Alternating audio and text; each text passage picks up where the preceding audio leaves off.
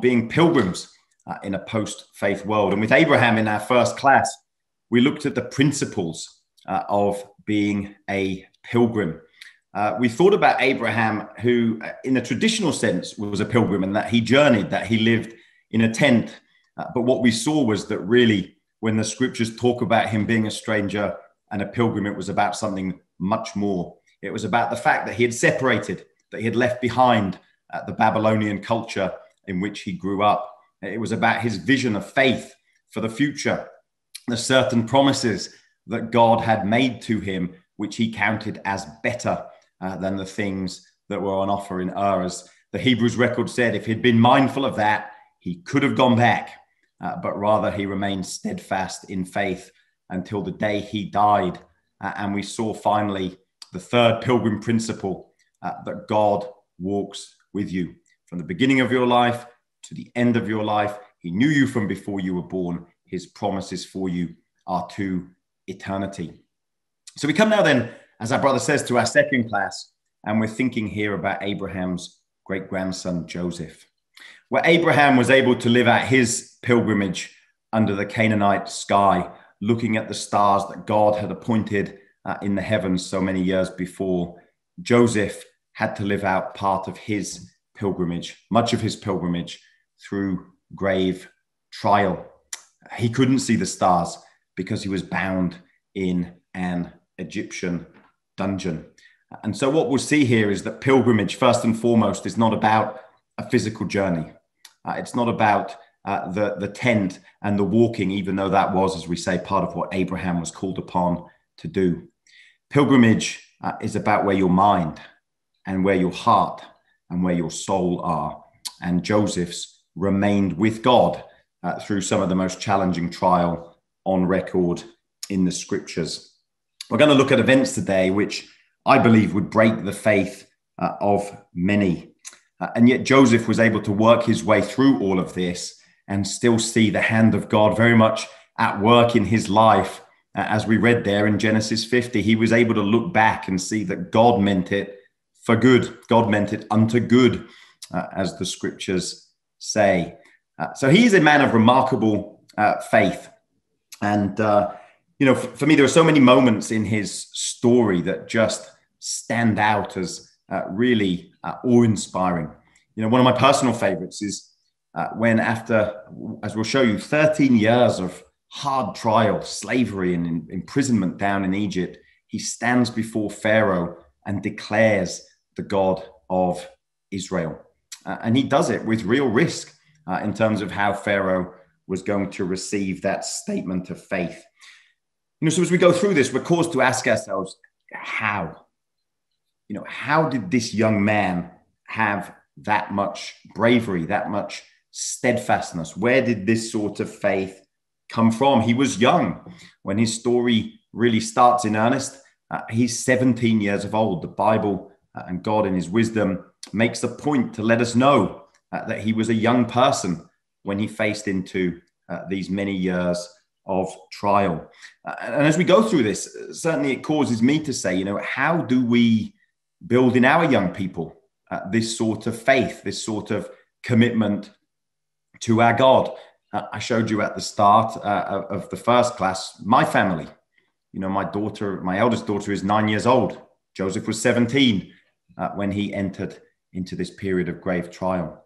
Uh, of course, I hope and pray that uh, what came upon Joseph will not come upon any of our young people before Jesus Christ returns. But we're caused to ask the question, you know, how can we build uh, in our young people the sort of faith uh, and steadfastness and assurance that Joseph had that at 17 years of age, effectively, he was set. And of course, as we showed in the class with Abraham, God was still with him every step of the way, but it was through grave trial and he hung on in there because of the faith that he had. What we're going to see together is that Joseph's strength of mind and Joseph's strength of character came from his clear understanding and clear belief in the covenant promises that God had made to Abraham, to Isaac, and to Jacob. I'm convinced that he had been taught them, taught them passionately in his family home to a point where at 17 years he was able to go from that place against his will, of course, uh, and survive through grave trial and hold on to the things that he'd been taught from a very early age were precious, uh, were to be held on to, were to be revered. He was a man of faith. He went through dark times, but as we'll see, God was with him uh, all the way. And at the appointed time, as we know, God lifted him up uh, and made him a nourisher so that God could save many people alive. That was his purpose with Joseph. So, uh, as with all of the talks that we'll go through together, God willing, this weekend, we've broken it into three parts. We want to start by thinking about that period of trial.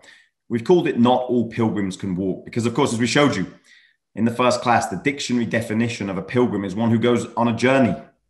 Well, Jacob, we're taught, was there in a prison with his feet in fetters. He couldn't walk, and yet he was a magnificent pilgrim, a magnificent young man of faith.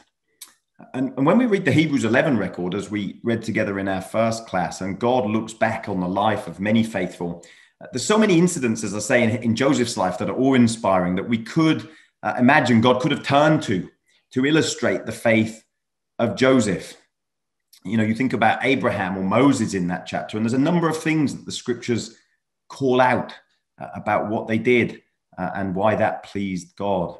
With Joseph, it's just that verse, and uh, it's it's a verse that focuses on his faith and conviction at the end of his life, uh, and we're going to go through and understand together, uh, at least suggest from the scriptures, why it was that God uh, focused on his faith right there at the end of his life. That he was able to look back through all of that trial, through all of that separation from family, uh, and to say, you know what, God meant all of this unto good, uh, and then he made, as we see in Hebrews 11 uh, commandment concerning his bones. So we'll come on to that uh, together, uh, God willing, uh, as we go through the class. By faith, Joseph, uh, you know, he was a man who had been schooled in the covenant promises, had been taught them directly by the men and women who had received them. And by the age of 17, he passionately believed in those things. There's no other way uh, that he could have gotten to the end of his life uh, and still look back in faith in the way that he did if he didn't have that firm foundation in his youth. If you think about the influences uh, that he had after leaving his family home for all those years in uh, Egypt, there was no uh, influence from a Bible, no influence from family, no influence from brothers and sisters. What he had at 17, uh, plus, of course, the guiding hand of God in his life, was what carried him through. Uh, so, so much that we can learn, I think, from this wonderful example of Joseph. Uh, you know, when we think about uh, our motivation, our why for this sort of study, there's just a couple of verses here up front that I'd like to share with you uh, as I was reflecting on this man and, and the trial that he went through. Um, the first one is not specific to Joseph. In fact, uh, as the writer to the Hebrews is writing this, I think he's talking about those who were bound at the time. Uh, so, as uh, Christians in the first century, uh, of course, there was much grave trial that the brothers and sisters had to go through, including some who were, of course, put into prison for their faith. And, and as he writes, he says, you know, you have to remember them as if you were bound with them.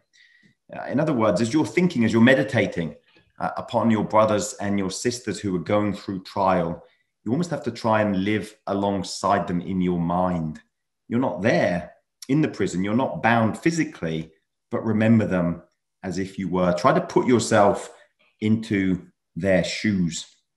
And I suggest you that that principle there uh, in the Hebrews letter is one that we can apply. Uh, we can apply it today potentially if we know our brothers and sisters in uh, such challenging circumstances. But I believe we can also apply it when we're thinking about uh, characters in the scripture like Joseph who were uh, bound and in prison.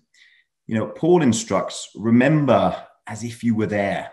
And I'd suggest to you that with the story of Joseph, for it really uh, to impress upon us, for it really to uh, motivate us, uh, we need to try and get into the story and live it alongside him. We hope and pray, uh, as we say, that we won't and that our children won't face into the sort of trial that he had to face into. Uh, but we can certainly, I think, with our Bibles open, live it alongside him. And that's a tough thing to do. You know, if we take this seriously, if we think hard about what the scriptures have laid down for us in terms of his life, uh, and that period of trial. It's not an easy thing to go into that trial with him uh, and really live it out, but it's something we have to do. Uh, the, the Lord, through his prophet Amos, admonishes those who are at ease in Zion, and amongst a number of things that he says to them, you know, the woe that he's uh, pouring out upon them is that they're not grieved for the affliction of Joseph. Now, there may be many meanings to that, but in the simplest of terms, as, as I'm taking it for this class, it's, you know, they're being admonished for not having got into uh, this story of Joseph, not having remembered what it took for God's people uh, to be kept alive at the time of Joseph, the trial and the affliction, the hurt that he had to go through uh, in order that God's people could be saved. And as we say that, of course, uh, it echoes, doesn't it, uh, of the Lord Jesus Christ. There are many echoes in the story uh, of Joseph uh, that, of course, echo through to Jesus himself. And we'll not be actively calling too many out this morning, but they're certainly there. And I'm sure uh, as we go through, you'll spot one or two. And that's motivating too. But this is, first and foremost, not a class on scriptural types, it's a class on character, it's a class on uh, being pilgrims, being pilgrims in trial.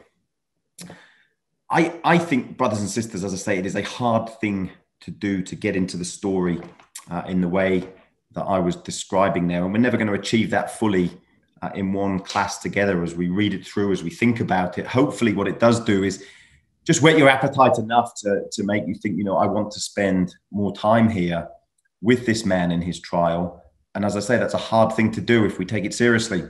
Um, these were unpleasant times, to say the least. Uh, and I think it causes us to question, it causes us to ask, why would God do this? Uh, Joseph was able to go through that questioning and come out the other side uh, and say he did it uh, because he's faithful. He meant it unto good. So, this is a class about trial, and it's a class about the example of Joseph, but it's also a class about our God uh, and how he's involved in our lives. We saw in, in, our first class his loving and guiding and caring hand, which was with, uh, amongst others, Abraham every day uh, of his pilgrimage.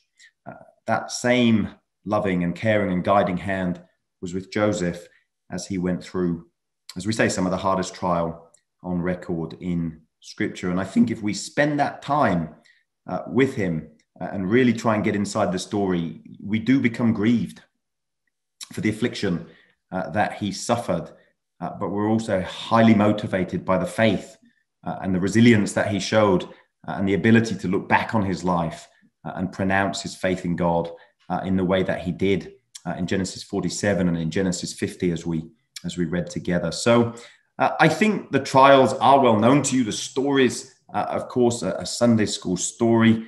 We're not certainly going to be able to really get across in uh, one class here, one virtual class, uh, the magnitude of this trial and this suffering. But maybe we just encourage you to uh, spend some time with your Bible open, trying to live that out. So, this first part, then, not all pilgrims can walk. The trial began, of course, with Joseph at 17 years of age. Uh, it appears to me, as I read the record through, that uh, that was the age he was when he was sold. Maybe there was a, a time period in that 37th chapter, and uh, therefore his uh, period of trial in Egypt was less. But it appears to me he was 17 when all of this uh, really started. And of course, we know how he was sent by his father to his brethren uh, and how they stripped him and cast him into a pit, and there was no water in the pit. And as we're reading through that 37th chapter, there's uh, very little there about Joseph's reaction. We don't really learn too much about how he uh, was feeling or responding to his brothers at that time. But uh, the scriptures do lay it down for us, as you can see here in Genesis 42, as the brothers are uh, talking to themselves and remembering and realizing uh, what they've done. And you can tell, of course, that it's been on their conscience for those years. You know, we are very, verily guilty concerning our brother in that we saw the anguish of his soul when he besought us and we would not hear. You know, so this is where it started 17 years of age, his own brothers uh, doing this to him. Uh, and you can see there was anguish in his soul. He, he was beseeching them, he was crying out for mercy uh, as they took him and stripped him and threw him in this pit, and then subsequently went on uh, to sell him into slavery. And we can only just imagine the horror uh, of that time uh, as he was betrayed in that way. And so, of course, he goes down to Egypt and He's sold into the house of Potiphar. Potiphar was the captain of the guard. It really means uh, Pharaoh's chief executioner. Uh, you can't imagine this was an easy household uh, to be a slave in. And yet, as we know, uh, the Lord was with Joseph. And uh, this comes through in the story. We're, we're living on, on the one hand through uh, this terrible trial that he endured. and on the other hand, the scriptures reiterate to us that God was with him through that trial. Brothers and sisters, it doesn't mean the trial was easy. I'm sure there were many sleepless nights, many tears, much distress and anguish and bitterness of soul uh, and fear, uh, fear for the day, fear for the future. Uh, and yet God was with him there, this young man who was ripped away uh, from his family home, ripped away from the positive influences that were there, uh, and is down now as a slave here in Egypt. Well, of course, things seem to be going better for him. He uh, becomes the overseer of Potiphar's house. He obviously was blessed by God. Potiphar could see that, uh, and he made him his overseer. And yet, uh, of course, we know that the trial uh, continues. It continues with Potiphar's wife, who had cast her eye uh, upon Joseph. Uh, and it's interesting as we read this, there's just an indication in the scriptures here of the nature of the world, the nature of the spirit of the world that was here present in Egypt as we saw it was in Chaldea and in Babylon uh, in our first class. As you can see with the verse on the screen there, you know, as she tempts him, he refuses. Uh, you can see that his mind is with God. You know, it's a sin against God that he's not willing to participate in. We don't know how long he's been in the house. It has to, of course, be some time for, for him to have become the overseer. So, you know, as the as the years roll on, uh, his mind is still very clearly here with God, and he's not willing. He's not willing uh, to sin against God, tempted as he might have been. And in the next verse, in Genesis 39 10, it came to pass as she spake to Joseph day by day. Uh, that is what the scriptures say. She spoke to him daily, daily. That's how uh, the Hebrew language is on record. Daily, daily, uh, the temptation was there in front of him. Uh, there's a Bible echo uh, with Daniel chapter one. We went to Daniel one in our first class to think about those young men who were taken off into captivity in some ways, uh, a parallel circumstance, unable to escape from the influence of, in the one case, Egypt, uh, in the other case, Babylon. And it tells us in Daniel 1, verse 5, that the king appointed them daily daily provision of the king's meat, daily temptation for Joseph, daily temptation for Daniel and his friends. What do you do uh, when the world is in your face daily? How do you respond? Well, here's the faith of Joseph I am not going to sin against God. What did Daniel do? He purposed in his heart. Two outstanding young men dedicated to their God, dedicated to the hope of Israel. So, thinking through this period of trial, trying to put yourself into his shoes, thinking about that rejection from his own brothers, the anguish of his soul, the fear of slavery, and now the temptation uh, of Potiphar's wife that's in his face daily, uh, daily. And he stands firm, doesn't he, against that temptation. Uh, and then, of course, the, the false accuser. Uh, she accuses him, uh, and he is sent to prison. And uh, just that phrase there in, in, Genesis 39, verse 20, you know, some of the things that God's servants have had to endure, and j- just the simplest of phrases to sum it up. He was there in the prison. And you can think about the Lord Jesus Christ, you know, and they crucified him. Uh, and and the Bible's not trying to indulge us in any of the details. It's giving us enough uh, to allow us, as we say, to take our mind into uh, the trial of Joseph and to think about what it was that he had to endure. He was there in the prison. It just seems to be going from bad to worse for him, doesn't it? You know, unfairly sold, unfairly treated by his own brothers, sold as a slave, trying to live by godly standards in Potiphar's house and then with false accusation, uh, he's down there in the prison. As we said, as we go through the story, we, we get both sides. We, we, we, feel the trial, uh, and we also see the hand of God uh, still being with his servant. And so it was that here in the prison, too, the scriptures are on record for saying that the Lord was with Joseph and showed him mercy. Do you remember that third pilgrim principle? I will show you, I will walk with you, uh, I will show you the land, I will bring you to the kingdom. This is ultimately what God is saying there to all those who would be pilgrims. And that is true wherever you are. Uh, as the psalmist says, Where can I go from your spirit, or where can I flee from your presence? If I ascend up into heaven, thou art there. If I make my bed in hell, behold, thou art there. And so, you know, Joseph, I'm sure, fared better in prison than he would have done were it not for that intervention from God. But again, this was trial. And as we say, the scriptures don't tell us too much uh, about this time, but there is, of course, that verse uh, in the Psalms there where uh, they talk, uh, uh, uh, the psalmist talks about God's dealings with his people. and as he gets to Joseph, he just gives us those words whose feet they hurt with fetters. He sent a man before them, even Joseph, who was sold as a servant, whose feet they hurt with fetters. He was laid in iron, the psalmist says. You know, and in type, we, we talked about the types of, of the Lord Jesus Christ. Maybe here we have the bruising of the heel. But again, let's try and focus on the character. Let's try and focus on the trial. You know, a dark dungeon, your feet bound, designed to hurt you. And through all of this, he held on day by day, night by night. The young man who hadn't seen an Israelite since he was 17 years of age, who had lived in Potiphar's house according to godly principles, who had done no wrong that he should be put in the dungeon, even as he himself said uh, to the butler uh, and the baker. Uh, here he is now, uh, his feet being hurt uh, in the dark prison cell. And, and it's these times that he was able to look back on and say, God meant it unto good. The Bible doesn't tell us too much uh, at least directly, uh, about what was going through his mind. Uh, and as we hope to show a little later in the class, clearly the covenant promises were there every day as he held on through this trial.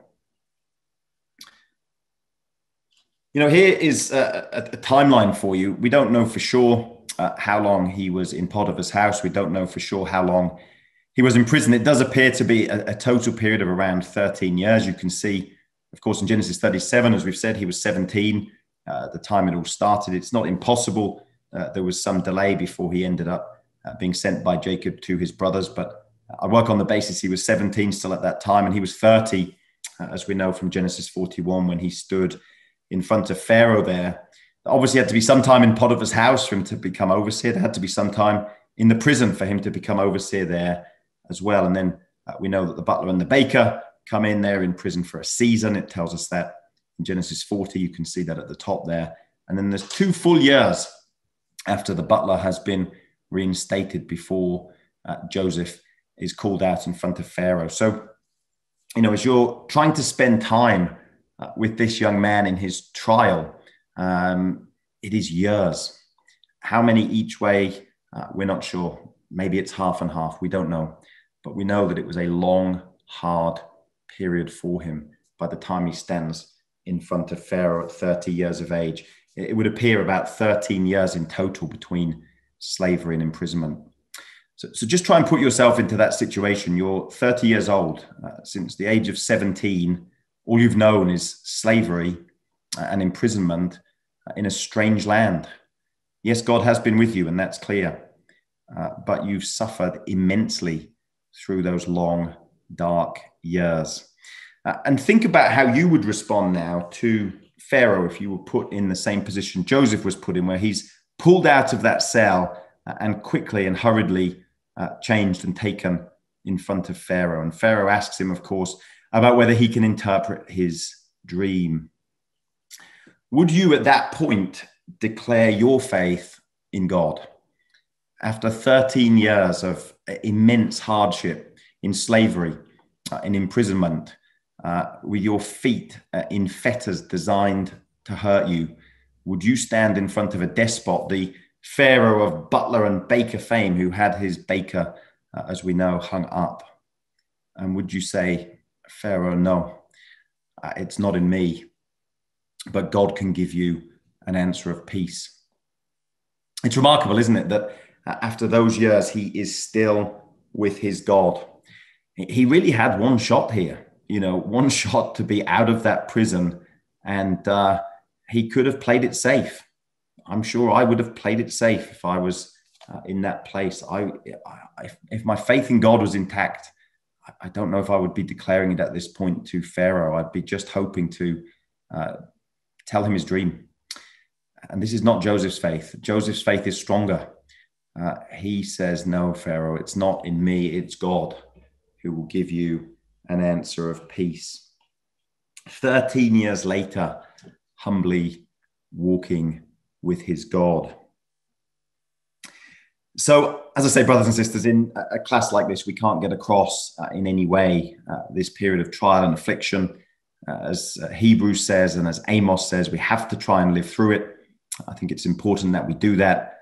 Uh, and if we do, we're left to marvel at a point like this where a man uh, of this age and this tenderness could stand in front of this despot and declare his faith in his God.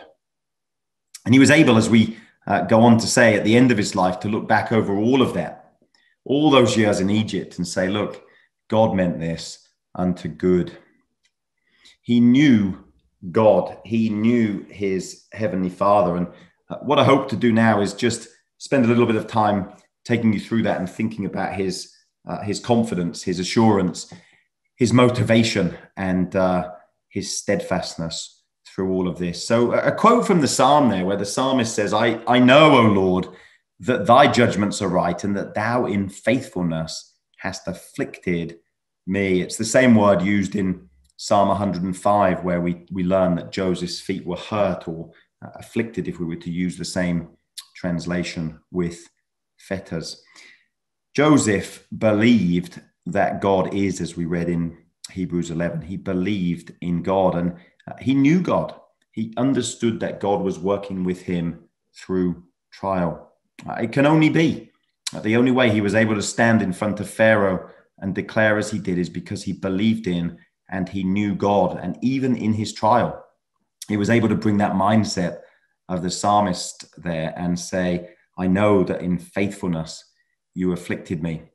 I'm sure there were ups and downs. I'm sure there were doubts. I'm sure it was incredibly challenging for him, but his faith won through.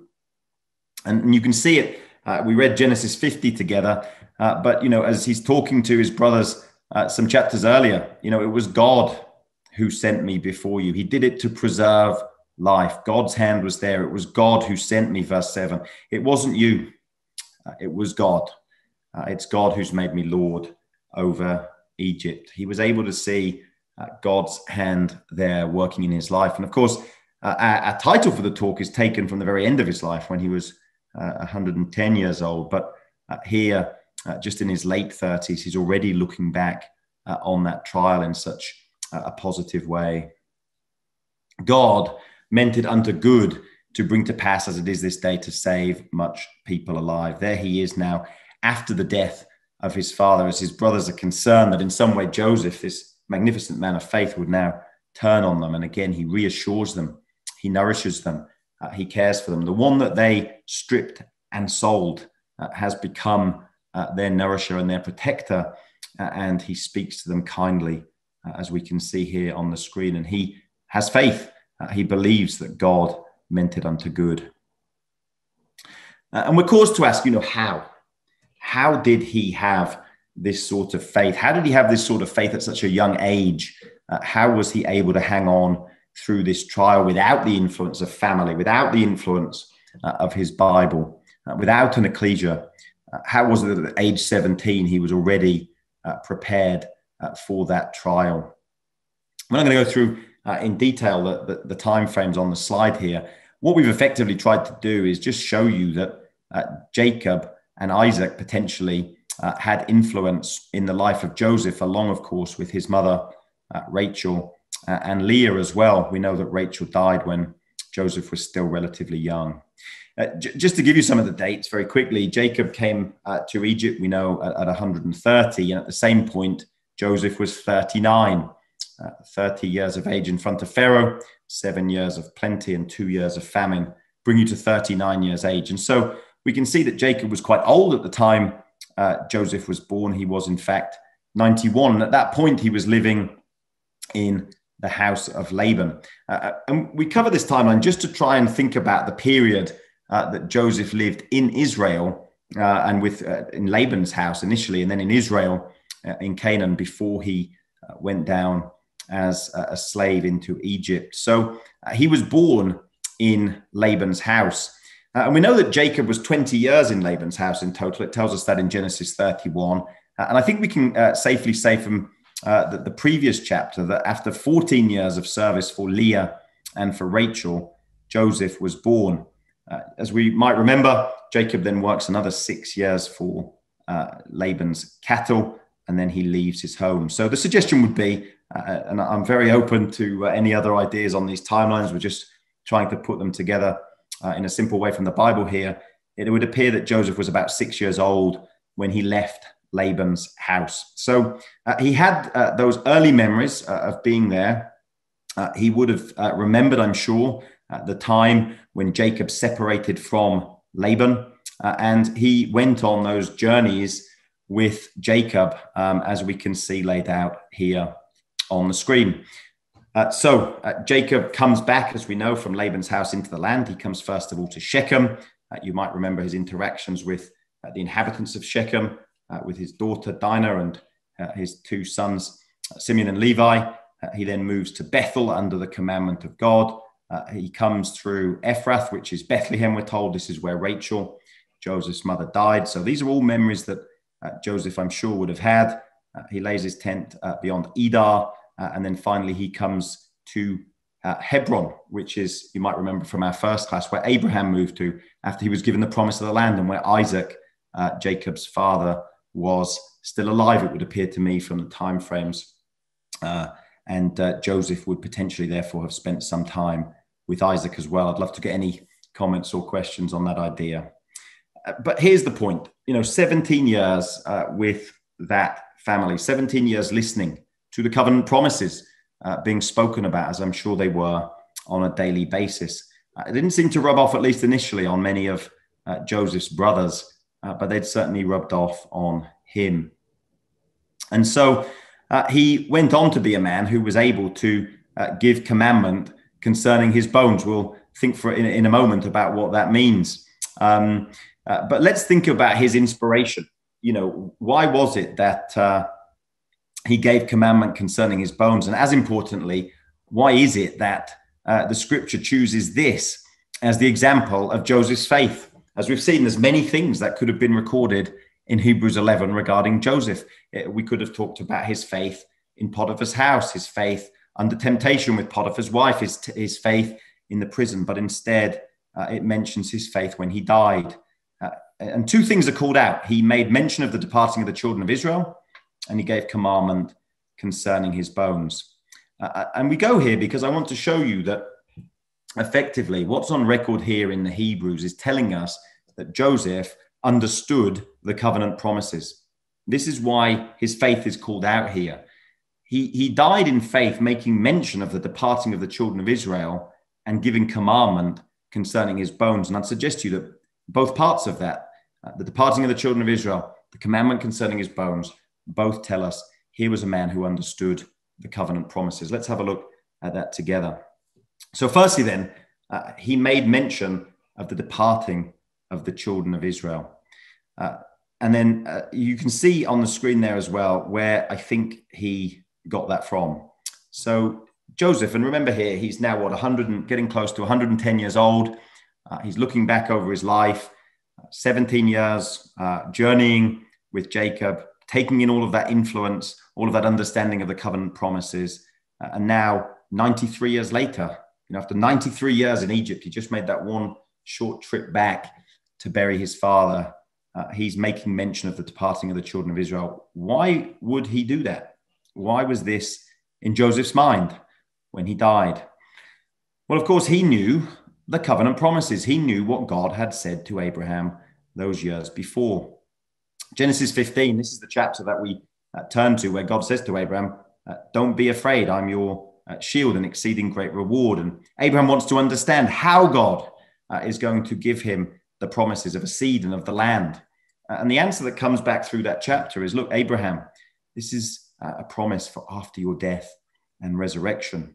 And before you receive the promise, your seed will be a stranger in a land that is not theirs, then shall serve them, and they shall afflict them 400 years, and afterward they shall come out with great substance. So when Joseph, at the end of his life, looked back uh, and understood as he did what God had done and why, he had confidence that this was the fulfillment of Genesis 15. And that, in fact, he was the first Israelite to go down uh, into Egypt and to be afflicted there. Uh, and that afterwards uh, they would come out with great substance as God had promised to Abraham those years before. So when he made mention of the departing of the children of Israel, uh, he was effectively recalling the promise of Genesis 15, uh, verse 13, 14, as we've got on the screen there. So that's just an indication for us that his mind was on the covenant promises, that he knew uh, the things that God had said to Abraham, Isaac, and Jacob. Now, I'd suggest you, therefore, that if he knew this particular promise, he likely, or, or I would even go as far as to say, certainly knew them all. So, where was his inspiration coming from then? How did he hold on through that terrible trial that he had to endure? We're not going to spend long on these. Uh, again, we just put them up here uh, for you as you're reflecting on Joseph and, and, and trying to live through that trial with him. What are the things that he might have drawn on to give him strength to continue through that trial. So, you know, God saying to Abraham right back there at the beginning of those pilgrim principles, I will show you the land, I will walk with you. The Bible tells us that God was there with Joseph. I think he knew it too. Uh, I think it was part of what allowed him to hold on that God was with him. God meant it unto good. God was there with me, meaning it unto good. Uh, no doubt he's been told in, in detail how God had appeared to Abraham. I'm your shield. Don't be afraid. Your seed will be a stranger in a land that is not there. And at some point, it dawned upon Joseph uh, that this was him uh, and his family. Uh, and so, of course, he also believed, as we've already pointed out, that afterwards they would come out with a great substance. Joseph was drawing inspiration from the covenant promises, from the things that God had said to Abraham. He knew about the promise of the land. He knew about the promise of Genesis 17, where God had said, I will be Elohim to you. I will be your strength. And Joseph absolutely had God as his strength. Uh, he would have heard the story how uh, when Abraham, who was also caused to wait, uh, you know, and Joseph had to wait in very different and in some ways harder circumstances, but both men had to wait. Uh, and when the promise didn't appear to be uh, being fulfilled, that, those words, is anything too hard for Yahweh? however desperate this situation, God is still here. Nothing's too hard for him. We have to try and work through it together with him. Uh, these are words of the angels, so they may not have been uh, taught directly to Joseph. Um, as God was uh, preparing to destroy Sodom and Gomorrah, the angels speak and they say, I know him, uh, Abraham. He will keep, he, he will command his children and his household after him, and they shall keep the way of Yahweh. And as I say, we don't know that, and we're not suggesting that those words uh, of the angels there were, were taught to uh, Joseph. Uh, he, he, may well not have known them. Abraham may well uh, not have known them. Uh, but undoubtedly, uh, the culture of Abraham's house was known by Joseph. The culture in Abraham's house was you keep the way of Yahweh, you do justice and judgment. Um, and God will bring upon Abraham the things that he has spoken uh, of. This was Joseph's faith. He had lived uh, in that culture. And as I say, not all of his brothers uh, adhered to it quite clearly, but uh, doubtless Jacob and Leah and Rachel, uh, and as we saw, uh, maybe Isaac as well, they had taught this young man well. He had witnessed that culture of keeping the way of Yahweh. his own father. You know, I'm sure Jacob relayed in detail again the stories of what had happened to him, how God had said to him, as we saw again in our previous talk, I will not leave you until I've done what I spoke to you of. Uh, what had he spoken to him of? The land, the kingdom, the seed. Um, remember that Joseph was six years old. That's what we established when uh, Jacob was coming out of Laban's house. No doubt it was a momentous moment. I'm sure he remembered it. What did uh, Jacob say to Laban on that day? God has seen my affliction. Joseph was afflicted in Egypt. Uh, he'd heard as a young boy his father saying, God has seen me through this trial. Uh, and here's his inspiration uh, that God saw his affliction too. Jacob understood the God of Israel. He saw himself as unworthy of all the mercy and all the truth that God had showed him. He knew the name of God, he knew the character of God. His name was changed to Israel, uh, illustrating that his strength was in God. He had been promised, as Abraham had, the land, and that promise was to Jacob's seed as well. These are the things this young man held as dear and precious. These are the things that got him through his trial, brothers and sisters. And so finally, uh, alongside making mention of the departing of the children of Israel, having that clarity that God would follow through on his promises, he also gave commandment concerning his bones. And, you know, I used to read through Hebrews 11 and think to myself, well, why does God choose this as an example of Joseph's faith? It seemed to me, at least at one point, to be so many better things, more faithful things that uh, that Joseph had done in his life that God could have chosen to record, and yet it was this thing that he chose. He gave commandment concerning his bones. The making mention of the departing of the children of Israel, as we see, was his faith and assurance in, in the covenant promises, the thing that God had said to Abraham he would do. And of course, there were other things that God had said to Abraham he would do as well, including resurrection. And we can't go through it now, we don't have time, but in that same Genesis 15 chapter, as we indicated, when Abraham says to God, You know, how do I know? How do I know that I'm going to inherit it? How's this going to work? And God comes back with this answer uh, It's going to happen, Abraham, that you will die. And that afterwards your, uh, your, your seed will become servants in a strange land. They'll be afflicted 400 years. And it's only after all of this, and after you have uh, died in a good old age and have slept with your fathers, that eventually your seed will inherit the land. So uh, Abraham had been taught by God resurrection. And I would suggest to you uh, that Joseph believed in that too.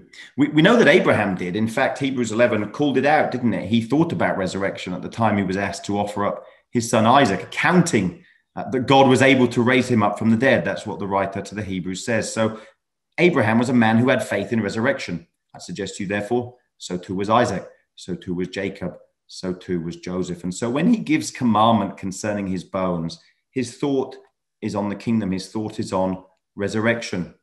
His thought is on a time when many of them that sleep in the dust of the earth shall awake. And he wanted his bones to be taken back to Israel. It's fascinating, isn't it, that of all those who slept in the dust of the earth there that we looked at in our first class in uh, that cave there uh, near Mamre, near Hebron, uh, I, I, guess again, I would have thought, well, Joseph's bones surely would have ended up there as well. Uh, but we know from the end of Joshua that he was in fact buried in Shechem. And we might think to ourselves, well, why did he end up in a different place? And I think it tells us that uh, it's not about where your bones are buried, uh, it's about what's coming next when those who are in the dust of the earth shall awake. Joseph had faith in the resurrection. He wanted his bones to be back in Israel because his hope, his heritage, was the hope of Israel. 110 years he lived, 17 in Israel, 93 in Egypt, and Israel won through. At the age of 17, his confidence, his assurance, uh, his belief in the covenant promises which God had taught to Abraham, to Isaac, and to Jacob meant more to him than anything he could have had in Egypt. It brought him through a period of intense trial, and it stayed with him as he was made governor in Egypt. He was able to look back and say, God did this unto good. He is recorded for his faith in believing those covenant promises that God would indeed bring his uh, people out of Egypt, he gave commandment concerning his bones because, like his forefathers, he passionately believed in the kingdom and in resurrection. So, as we've thought together, brothers and sisters, uh, very inadequately, I must say, uh, about a pilgrim in trial, please uh, try and spend some time with this remarkable young man as he goes through that trial. Uh, even a period where he could not walk, uh, he was everything that the scriptures ask of us in terms of being a pilgrim. He was able to look back, as we've seen, and say, God meant all of this, all of this unto good. So, as we invariably in our lives, brothers and sisters, go through trials, and we hope and pray for uh, everyone gathered today uh, that our trials will not be akin to those of Joseph. Uh, let us also develop that faith to see the hand of our God in our lives as we go through the good times and the bad, that we too uh, can have the faith to look back and say, God meant this unto, unto good. He is good. He was there. His hand was in this. He's still with us. And more so, brothers and sisters, let us have the same faith that Joseph had, that God would indeed fulfill his covenant promises. He will indeed raise those that sleep in the dust of the earth and give them the glories of the kingdom. We look forward to a day when Joseph uh, will receive the due recompense of reward uh, that God will give him by grace when the Lord Jesus Christ comes. Thank you.